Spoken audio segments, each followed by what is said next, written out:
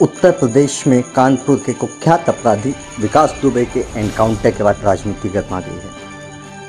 जहाँ कांग्रेस के नेता इस एनकाउंटर पर सवालिया निशान लगाते हुए भाजपा को घेरे में ले रहे हैं तो वहीं भाजपा इस पूरे मामले को लेकर कांग्रेस पर भी निशाना साध रही है। इस बीच सिवनी मालवा पहुँचे मध्य प्रदेश के कृषि मंत्री कमल पटेल ने भी कांग्रेस को जमकर निशाने पर लिया। कांग्रेस के आरोप पर बोलते हुए कृषि मंत्री ने कांग्रेस को ही अपराधों की जननी तक बता दिया। शिवराज के कबीना मंत्री ने कांग्रेस पर निशाना साधते हुए कहा कि कांग्रेस अब सत्ता से बाहर हो गई है, इसलिए बिना मतलब के मनगढ़ंत आरोप लगा रही है। कानपुर में विकास दुबे के एनकाउंटर को लेकर कमल पटेल ने पुलिस के कार्य की सराहना भी की है।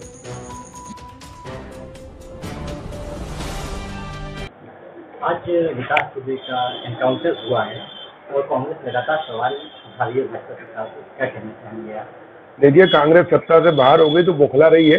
फुर्सत में कोई काम नहीं है और इसलिए कांग्रेस के सारे नेता सटिया गए, उनको समझ नहीं बैठ रही कि भाई सत्ता कैसे चली गई और इसलिए अनर्गला को लगा रहे हैं।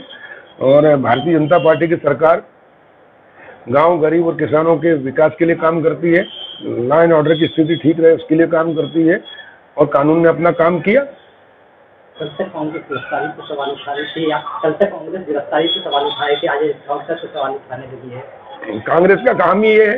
कांग्रेस ने इस देश को पचपन साल राज करके लूटा है। भ्रष्टाचार की जननी कांग्रेस है। अपराधीकरण राजनीति का कांग्रेस ने किया है। है ना? भ्रष्टाचार कांग्रेस की देन है, अपराधीकरण कांग्रेस की देन है, माफिया कांग्रेस की देन है और चारों तरफ़ जो अव्यवस्था है वो कांग्रेस की देन है।